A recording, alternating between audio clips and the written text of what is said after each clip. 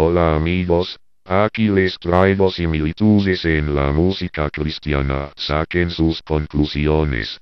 Copia o simple casualidad, comenten.